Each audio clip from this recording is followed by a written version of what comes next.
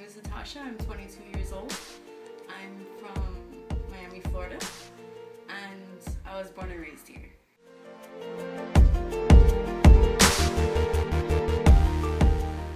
Well, what inspired my love for music was when my mom took me to an opera show when I was two years old. And that started a whole new since I was two years old, I've wanted to be the same thing, which was originally an opera singer. That's what inspired my biggest love for music. We lost it all. The love is gone. She has won. Now it's no fun. We lost it all. Well, my main influences, there's a couple of them, but my main influence is, I have to say, Evanescence. I've loved them for over 12 years. They actually came out first in Germany, and that's where I heard them for the first time. I was living in Germany at the time, and that just started a whole new thing for me. I was obsessed with them, and I still am.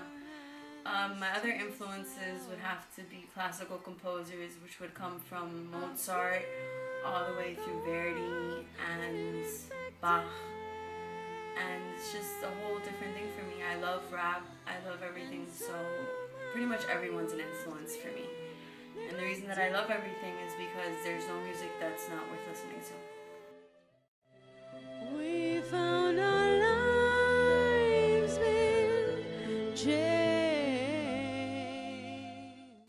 Favorite classical composition would have to be the Requiem by Mozart. He wrote that on his deathbed. Right after he wrote, which is actually my favorite opera, which is the Die Zauberflöte, which is the magic flute. And he wrote that on his deathbed. He was actually asked to write it, and they knew it would make him sick because he was so talented at writing music that he couldn't stop himself from writing it. And everything was always crammed in his head. And he could remember pages and pages of music. It was just amazing.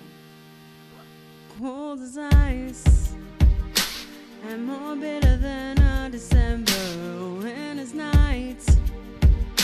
That's how I treated you, and I know that I, I sometimes tend to lose my temper and I cross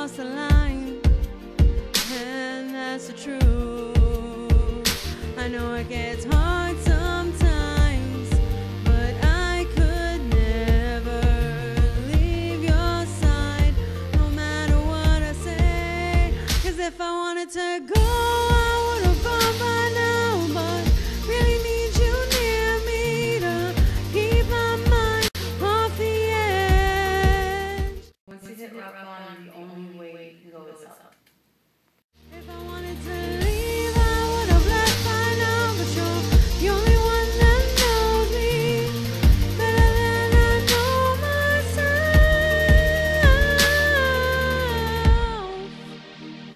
message I would want to give my fans is that anything is possible. You can start from nothing to becoming practically anything. Anything is worth doing, and if you really, really work for something, you can make it there. And that'll always be true for anything you do. Whether it's psychology, music, you know, helping someone, helping yourself, helping your family, helping friends. Well, my biggest hopes and dreams would be to actually, you know, be able to send a message to people that you can do anything. It doesn't matter what weight you are, what size you are, whether you're small, big, doesn't matter. What ethnicity you are, where you come from, what you've been through, you can really do anything. And, you know, just try. If you just try, it was worth it.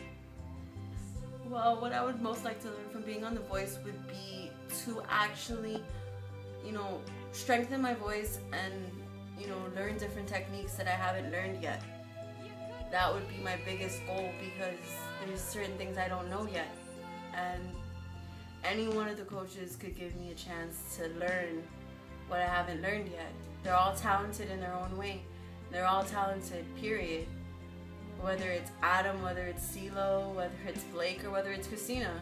They all have their own special way of working. And I would love to work with any of them.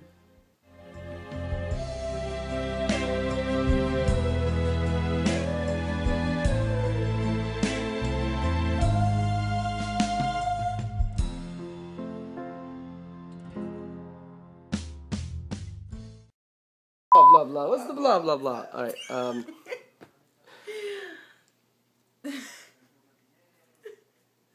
What I would blah blah blah. Whenever you're ready. Okay. What was the question? What I would blah blah. Would you, What I would like. Best enactment of Adam. And she goes, okay. Boom! all right. Actually, Adam yeah, for I you. hadn't seen that part yet. That's Adam for you. Yeah.